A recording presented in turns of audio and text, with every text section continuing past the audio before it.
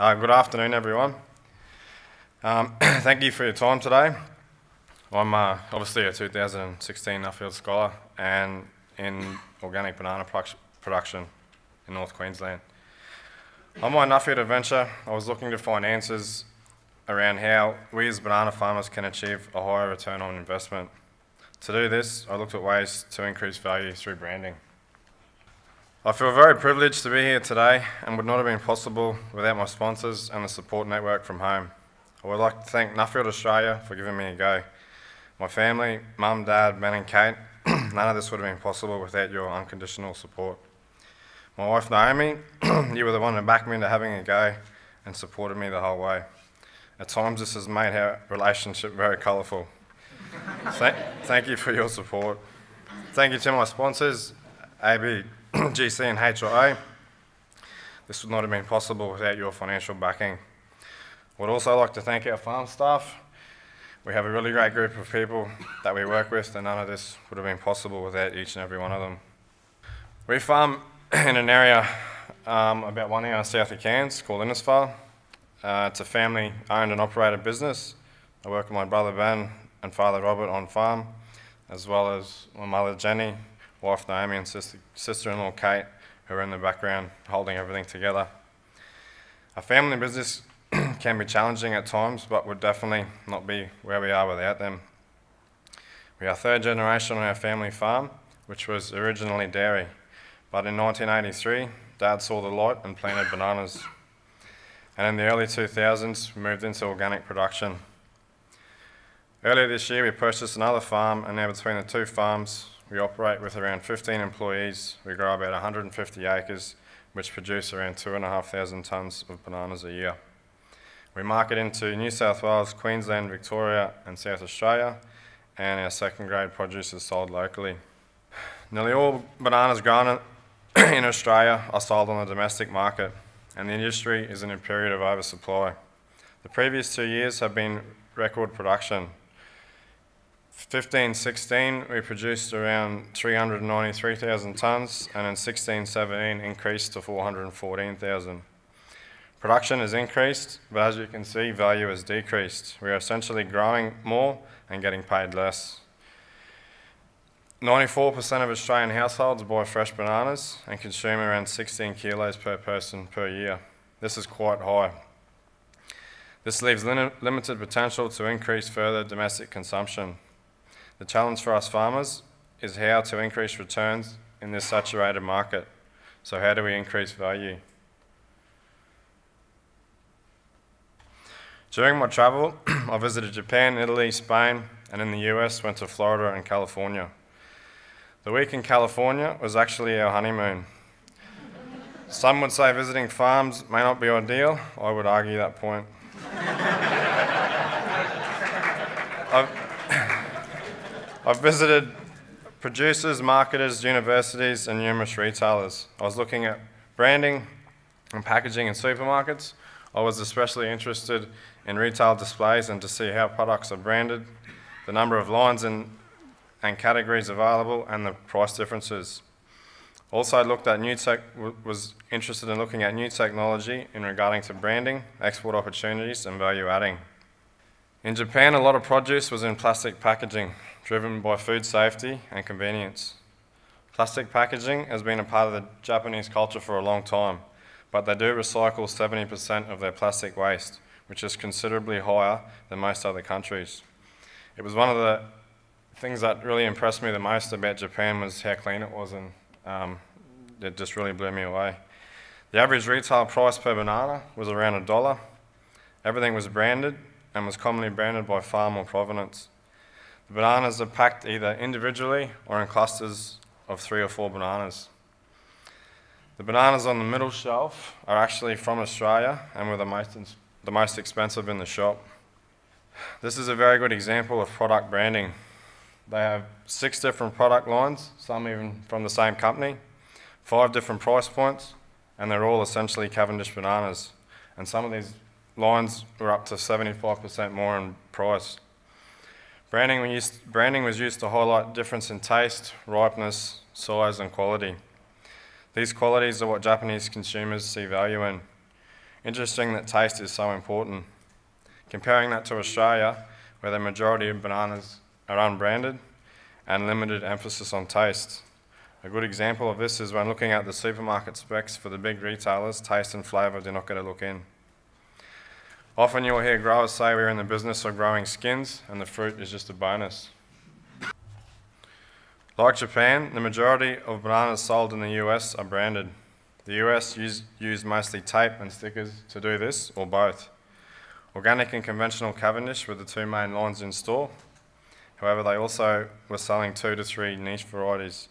Niche varieties and organic received a price premium, niche varieties 50% more, and organic 30% more. The take home message from Japan and USA was that branding is very important to identify your product and increase value. However, in our organic business, we are conscious of playing our part and looking after the environment and not creating additional packaging waste. Therefore, I don't believe any of the branding examples would be suitable for our organic business. Bananas in their natural form have many advantages, the two big ones being convenience and already in an environmentally friendly package. As farmers, we are a very important part of the food chain. We grow safe, healthy food for the rest of the population to eat. At times, we undervalue what we do. It is important we start to recognise the value of what we add and what makes our product unique. The challenge for our business is how do, how do we brand our product and how do we get value from what we do. In Spain, I met with Stefan Merritt of Laser Foods, to look at new technology of laser printing on fruit. Laser uses light to mark without damaging the skin of the banana or the pulp inside. The machine also has artificial vision for identifying the area to be marked. Another key point is the application can be done on farm. This is important for the farmer to be the one adding and receiving the value.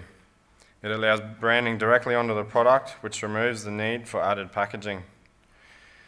The photo on the left shows how it is only marked on the very surface of the skin. It almost looks like it's been printed on. A system to support the laser technology for bananas has not been fully developed. Another challenge for this technology is to adapt the process within the packing shed to suit. How the marking works. When it initially when initially marked, it is barely visible as you can see on the right. And then gradually the image gets darker, as in the picture on the left. The size of the brand will impact the time it takes to mark. On the right, the font is in normal text and took 0.1 of a second to mark, and in the left, the text is in bold and took 1.2 seconds to mark. Similar to, similar to laser, ink does not use packaging to brand. The ink is edible, which is very important for food safety and quality assurance standards. A print head with an electronic eye senses a fruit which triggers the printer to mark. Quite a simple yet effective system. Challenges with this are developing a system to support application and adapting it to current packing systems and ensuring the ripening process doesn't affect the ink integrity. And we are currently doing trials with this in our shed at the moment. I spent a day with Rabobank Vice President and Senior Analysis Roland Fumasi in California. He indicated the importance of convenience for consumers when considering product choice. They will choose environmentally sustainable, sustainable packaging before purchasing a product without packaging. Two features of the tomato packaging pictured here is that it's both recycled and biodegradable, and it still hits the mark of being convenient for consumers. It still has plastic on the cover, but they have greatly reduced the amount of plastic.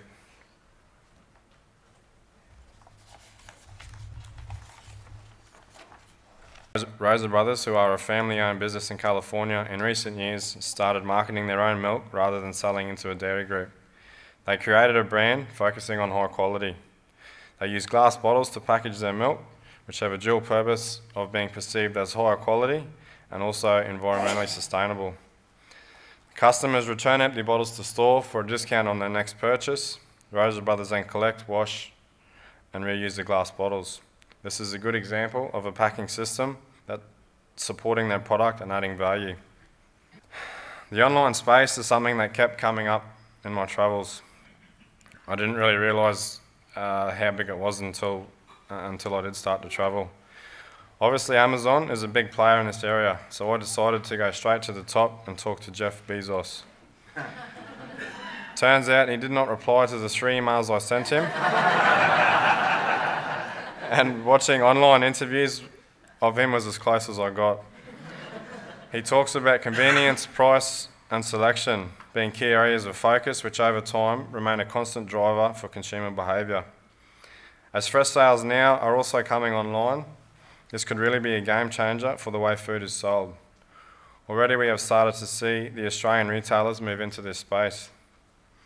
With the logistical expertise behind these kind of companies, it is very hard to ignore the signs, and this has the ability to really turn things on its head. Online selling also has the potential to remove the need to physically brand the product, as the brand could be advertised online. So essentially, bananas could skip over finding a process to physically, physically brand and move straight into an online presence. I met with Ben Senior and Ben Junior from Uncle Matt's Organics. These guys were in the citrus industry and are involved in both fresh and processed production. Their company focused on high quality and consistency. They developed a brand and are now able to demand a premium over their competitors. They also maximise their waste by having multiple products, premium fresh fruit, oil they, which they extract from the, the skin, and premium fruit juice. Ben Senior told me that he often goes to the shops and watches consumers. He said that what the big thing he notices about the customers is that they bought, that buy his juice is they don't even look at the price. He said they scan the shelves, find his brand, grab the bottle, and keep moving. This, is a, this was also a very good example of the power of branding and increasing value. They put a huge emphasis on growing a high quality product, but also put a lot of effort into their brand and image. As farmers, we often just focus on growing. It's important we look at the growing, but also the marketing sides of our business to have a, to have a real opportunity to increase value. There are clearly high value and low value products which bananas could be used for. Some of the examples are highlighted above. Banana flour, which has been developed in North Queensland by a banana grower, is a very good example of increasing value. Besides that, other banana products are puree, which is used in drinks, bases for drinks, baby products, children's snacks, and flavour additives. And whole banana pieces used in frozen and dried, and powder for baby products. In Italy, I met with Fratelli and Indelicato, a company that makes tropical fruit processing equipment. They have developed a banana peeler to be used in making puree. The machine gets around a 55% recovery rate. The pulp then goes through another machine to separate out the small pieces of skin that end up in the pulp. As mentioned at the start of the presentation, our fresh domestic banana market is oversupplied. Therefore, export markets have huge potential to provide new market opportunities. These opportunities may be in fresh or value added, but we need to focus on high end high and high value to compensate for our higher production costs. However, Australia has an advantage over their competitors. We are seen as having, or we have high, very high levels of food safety, very high quality standards, we're reliable and trustworthy. The Australian brand is strong and well respected around the world. The middle class in Asia is growing at a phenomenal rate. With Asia's close proximity and food quality issues, this presents real opportunity for us. There are lots of good examples of Australian industries already doing this. I believe there is an opportunity for the Australian banana industry to develop new export markets.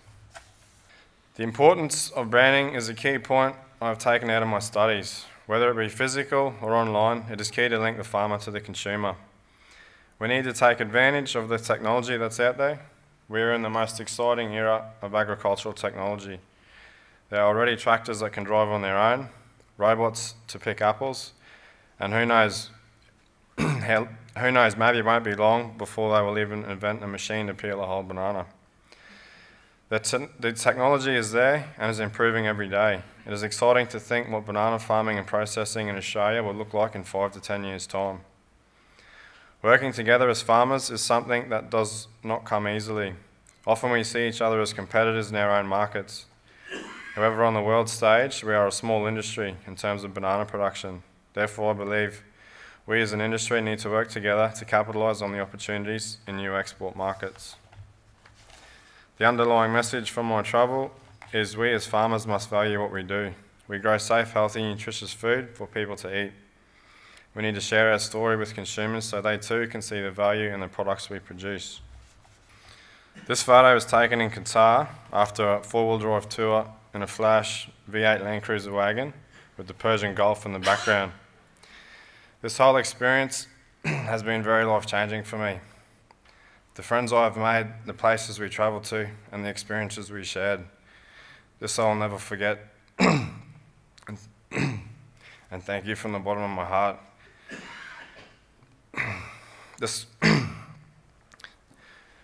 This scholarship has shown a lot more at me than I was ready for, and on several occasions left me questioning my decision making on entering the Nuffield program.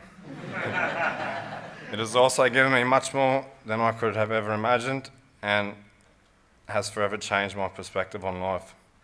Thank you to all the people I visited on my travel, and thanks again to everyone who has supported me along the way.